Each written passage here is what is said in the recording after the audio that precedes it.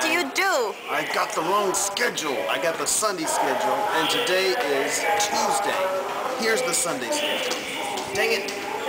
Here's the Sunday schedule. It says Sunday. Let me point to it. Sunday, the 10th of June. 9.15, right there, right? Do you think today is a Sunday? Is today a Sunday? Krista? What day is it today, Chris? Today's Tuesday. So, oh, look, Kim's back.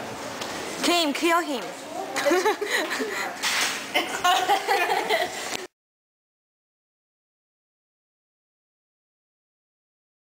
If you look over there, you'll see there's a big rock formation that comes up and forms a peak. And if all goes well and the weather cooperates, we're going to go over there. We're going to come from behind though, the higher, little higher mountain over there and cross across uh, that section and end up where those people are way over there.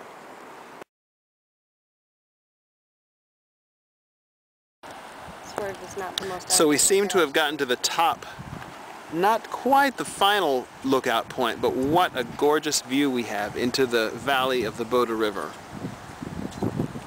If you look down here, the valley is divided like this, and you look way down in the middle, and you can see where the, where the water flows through.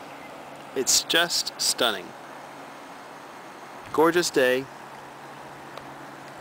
I think all of us are pretty happy we came. Yes. So what are we seeing here? Um, we're seeing pennies in a pool. Um, but it is A thought to be, it is, uh, what's the word, uh, legend that a huge horse was leaping from the tops of the mountains with a Like witch maybe that one over there with a witch on its back. to this one. See, that one. That's we took That that's us. That's where we got up here. Uh-huh. There's part of the um, cable car that we took up here. Those are the cable cars. But we did go all the way back down before we came all the way back Mhm. up. And then we went to this building up there, which you can see, and then all the way over here just to see this Yes. horse footprint.